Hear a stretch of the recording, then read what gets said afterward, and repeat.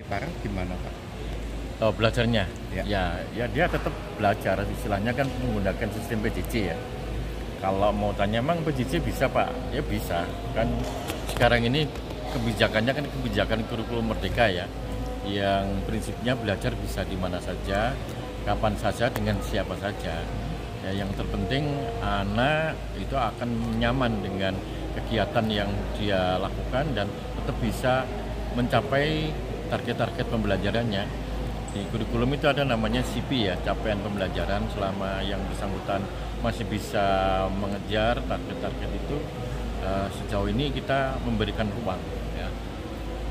Jadi uh, salah satu prinsip kurikulum merdeka juga uh, pembelajarannya harus kontekstual ya. Kontekstual yang dimaksud bisa menyelesaikan dengan situasi kondisi lingkungan, lingkungan masyarakatnya, lingkungan keluarga, termasuk aktivitas dia. Ya, tapi yang jelas kita berharap untuk khusus Farel ya uh, mungkin uh, ke depan lebih makin uh, lebih selektif lagi untuk memenuhi undangan-undangan.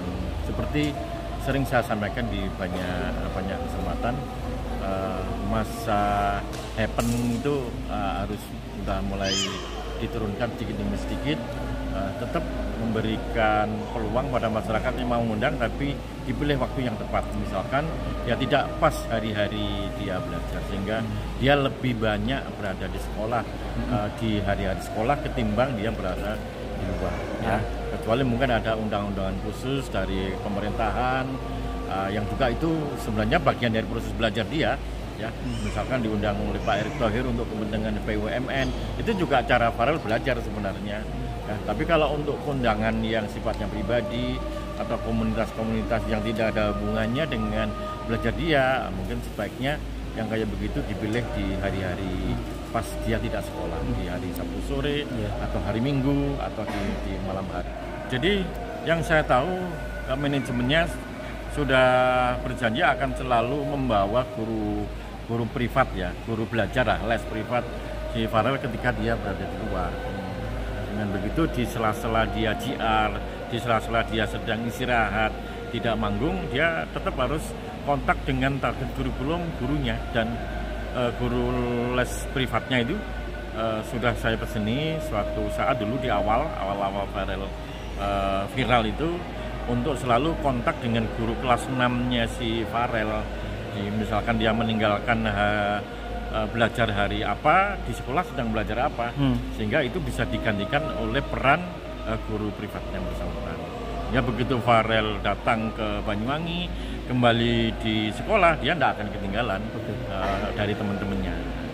Itu yang bisa kita lakukan dan uh, menurut kami yang kayak begini mestinya temporer ya, tidak terus menerus. Uh, harapannya ke depan tadi itu harus makin selektif. Siswa itu kan berupa penjaminan ya sudah penjaminan Farel untuk bisa bersekolah sampai di mana pun uh, selama dia tetap menjadi warga Banyuwangi. Itu janji Ibu Bupati ya Insya Allah akan terus kita dampingi kita penuhi. Kalau nanti ada gangguan-gangguan dia nggak bisa konsisten dengan uh, nasihat Presiden ya tugas kita mengingatkan. Oh.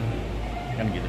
Jadi terancam tidak bisa nanti Pak? Ya kecuali dia terus tidak jadi warga Banyuwangi uh, kan beda cerita untuk untuk jenjang beasiswanya saja uh, itu mulai dari beasiswa sekolah apa saja pak tingkatan? Ya mulai dari sekarang di SD kan dia udah nggak dikenakan apa-apa, udah saya minta kepala sekolahnya. Nanti masuk SMP dia juga sudah saya beri piagam kan kemarin, ya. uh, piagam penghargaan itu juga senjata dia, bukti dia bahwa uh, ke mana pun nanti Farel mau masuk ke SMP itu mesti langsung diterima. Ya, termasuk uh, dia tidak tidak perlu dikenakan aturan untuk nyumbang apa ya di sekolah itu. Sampai ke SMA nanti akan kita fasilitasi koordinasi dengan Kepala Dinas tentunya ya.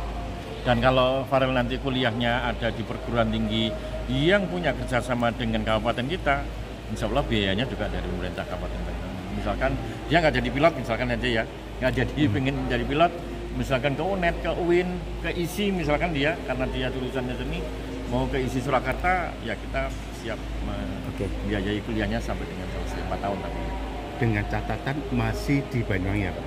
Tentunya. Masih domisili Banyuwangi. Warga Banyuwangi kan ya gimana masa kita mau membiayai warga